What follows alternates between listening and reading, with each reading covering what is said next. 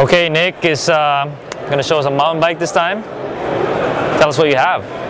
So here we have a single speed belt drive, Gates carbon belt drive 29er, fully rigid. Um, it's actually the bike of a very good friend of mine, Brad Cole in Fort Collins. And uh, we built this bike up for him kind of as a sponsored racer for last season. And uh, we really wanted to pull out all the stops for the overall build of this bike. Um, Brad works at Niner now, but uh, he was like, you know, Niner fork, Niner bar and stem and post. It's some of the best stuff you can get. The fork especially. But Brad basically rides single speed two Niners, fully rigid, just the best handling All the time. skills of anyone you've ever met. Uh-huh. And um, we decided to run with a Chris King rear hub and a belt drive specifically because it's just instant engagement. All right. And so when you're on a really steep technical section and you need to have like an instant power output, it's just, it feels like you're directly connected to the rear wheel.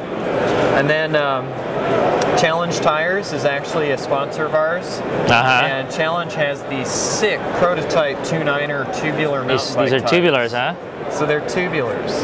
And then ENVE, which is also like a company I've worked with for like three years now since I started the company.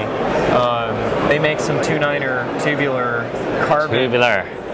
Uh-huh. Wow. So we just wanted to build up, I mean, some awesome ultralight TRP disc brakes. We just wanted to like build up the coolest possible bike with all the different features.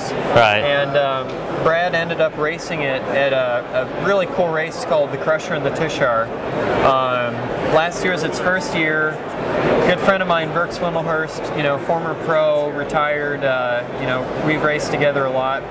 He started this race, just epic gravel road race out Uh-huh. nowhere, Utah, and uh, 11,000 feet of climbing 11,000 feet of climbing. in 84 miles. and Brad won it on this bike on a single speed.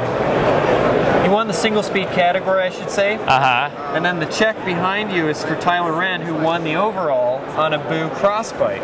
Wow. We actually won in the first year. We won the overall and the single And speed single category, category. on Boo bikes. wow. And Brad was something like 15 minutes behind Tyler in a five and a half hour race with one gear. With one gear. He's crazy. Something wrong with him, but I love him. I got to meet these guys. Uh, it's a good time, man. It's a Right. Good time. Thank you, Nick, for showing this to us. Yeah, of course.